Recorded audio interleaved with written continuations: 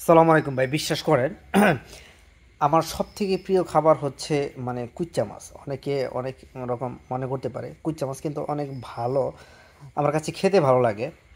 তো এখন বাজারে যাওয়ার পরে আর কুচা মাছ পাওয়া যায় না। তখন চিন্তা করলাম বা বিষয়টা ফাইন্ড আউট করলাম। এখন দেখতে পারলাম যে, যারা কুচ্চা মাছ ধরে, এখন এরা ধরে ধরে না। কারণ হচ্ছে যে, এই যে রাসেলস বাইপার যে বিষয়টা বের হয়েছে, এই রাসেলস বাইপারের কারণে এরা এখন কুচ্চা মাছ ধরা বাদ দিয়ে দিয়েছে।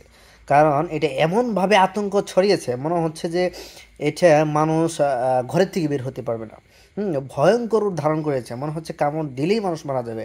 কিন্তু আসলে যেখানে বেশিরভাগই আপনার গুজব ছড়াচ্ছে, দেখেন, মশার কামড়ে প্রতি বছর যে পরিমাণ, যে সংখ্যক মানুষ মারা যায়, তার তিন পার্সেন্ট মানুষ মারা যায় হচ্ছে সাপের কামড়ে, বিভিন্ন সাপের কামড়ে। তো যাই হোক, এই যে এখন যে রাসেলস বাইপার যে বিষয়টা বের হয়েছে। তো দেখেন, এই যে মানুষ মারা যায় অনেক কারণে। যেমন আপনার এই রাসেলস বাইপারে কামড় দিয়েছে বা দোরা সাপেও যদি কামড় দেয়, মানুষ মারা যেতে পারে। তখন আতঙ্কে সে আপনার স্ট্রোক করে বা হার্ট স্ট্রোক করে হ্যাঁ আপনার কলজা ফেটে মেরে যায়। বিষয়টা এরকমই। আবার অনেকে আছে যে মানে আপনার কুধারণা আছে। যেমন যে রাসেলস বাইপার বা আপনার কিং কুবরা কিং কুবরা হোক, এগুলো যদি কামড় দেয়, তো ওজার কাছে দৌড়দৌড়ি করে। তো দেখা যাচ্ছে যে মারা যায়। আমি যতগুলো দেখেছি যে মারা গিয়েছে, ওজার কাছে যারাই দৌড়াদৌড়ি করেছে হসপিটালে নাই নাই হ্যাঁ অ্যান্টিভেনাম দেয় নাই, তারাই কিন্তু মারা গিয়েছে। কিন্তু আপনার একশো মিনিটের মধ্যে রাসেলস বাইপার হোক বা অন্যান্য সাপে হোক, একশো মিনিটের মধ্যে যদি আপনার ওই হসপিটালে নিতে পারে, আর এটা কিন্তু অ্যান্টিভেনাম আছে ভ্যাকসিন আছে, যদি নিতে পারে তাহলে কিন্তু ভালো হয়ে যায়। সো এটা কি এমন আতঙ্কে ছড়িয়েছে? মানুষ মনে হচ্ছে যে এখন কি, কিছুদিন পরে মাছ ধরবে না।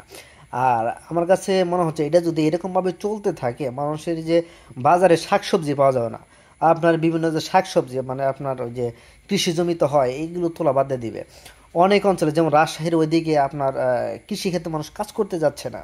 হুম, এটা দেখতে পেলাম যে কাজ করতে যাচ্ছে না কেন? এই যে সাপের ভয়ে।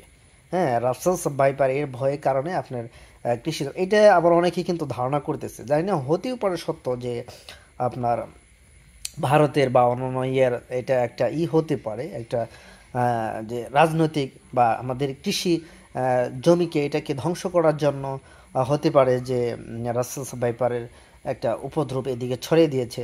যেমন এটা আপনার সাঁতার কাটে, পানিতে, পানির মাধ্যমে আসে আর কি।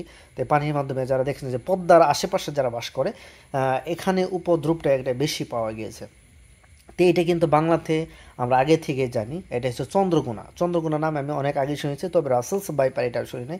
এটা সতেরোশো সালে পরে এটা আবিষ্কৃত হয়েছে উপ, ভারতীয় উপমহাদেশে এটার এই সাপটা বেশি দেখা গিয়েছে। কিন্তু একশো বছর আগে বাংলাদেশে এটা বিলুপ্ত হয়ে গেছে, একশো বছরের মধ্যে এটা পাওয়া যায় না তো এখন হঠাৎ করে রাসেলস বাইপার ইয়েছে তখন তার এত ফেসবুক ছিল না, এত মানুষের এত আতঙ্ক ছড়ায় নাই।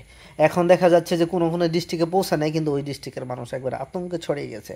তো যাই হোক, এইগুলো আতঙ্ক থেকে আমরা আমরা ই করব যে আতঙ্কিত না হয় কারণ আমরা যে যে এটা যে সরাসরি অ্যাকচুয়ালি যে এটা কামড় দিলে বা আসলে ওই এলাকায় আসলে যতটুকু ক্ষতি না হবে, তার থেকে বেশি ক্ষতি হচ্ছে এই আতঙ্ক ছড়িয়ে।